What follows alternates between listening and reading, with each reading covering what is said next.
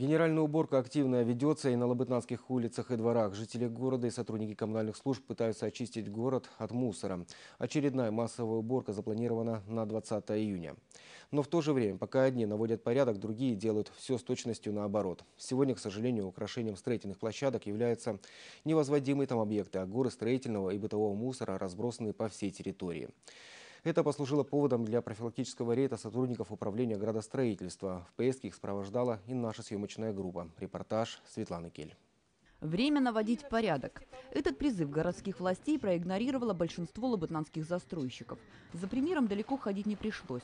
Что происходит на строительном объекте компании «Ямалстройгрупп» увидеть совсем несложно, поскольку ограждения здесь установлены, по всей вероятности, для галочки. Видно, что работы ведутся. По огромным кучам мусора и остаткам стройматериалов, разбросанным по всей территории, можно оценить масштабы и темпы строительства. Причем главными зрителями реалити-шоу «Стройка» являются жители улицы Заполярная. Круглые сутки люди вынуждены любоваться из своих окон мусорными пейзажами и не только.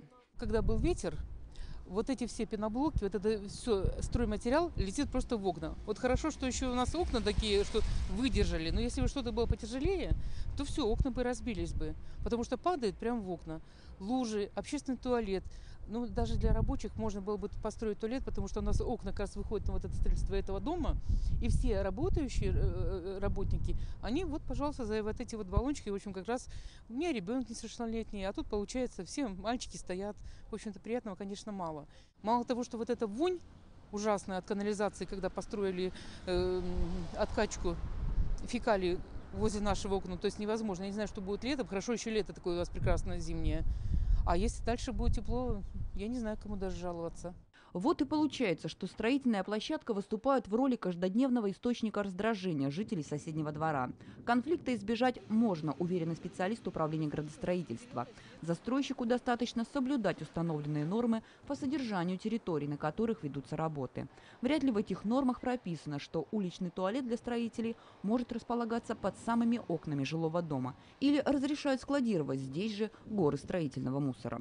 У нас, в общем-то, ну, ко всем почти застройщикам как бы такая просьба, что вы все-таки содержите свои строительные площадки в порядке. То есть, как бы, может быть, организовывайте какие-то субботники, своевременно вывозите строительный мусор, отходы, так, чтобы они у вас не разлетались. В Лабытнангах строительство ведут более 40 застройщиков, шестеро из них возводят жилые объекты.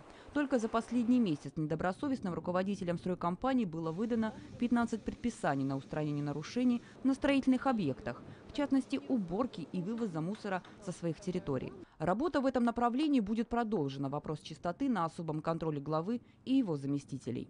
Светлана Кель, Григорий Волков, программа «Время местное».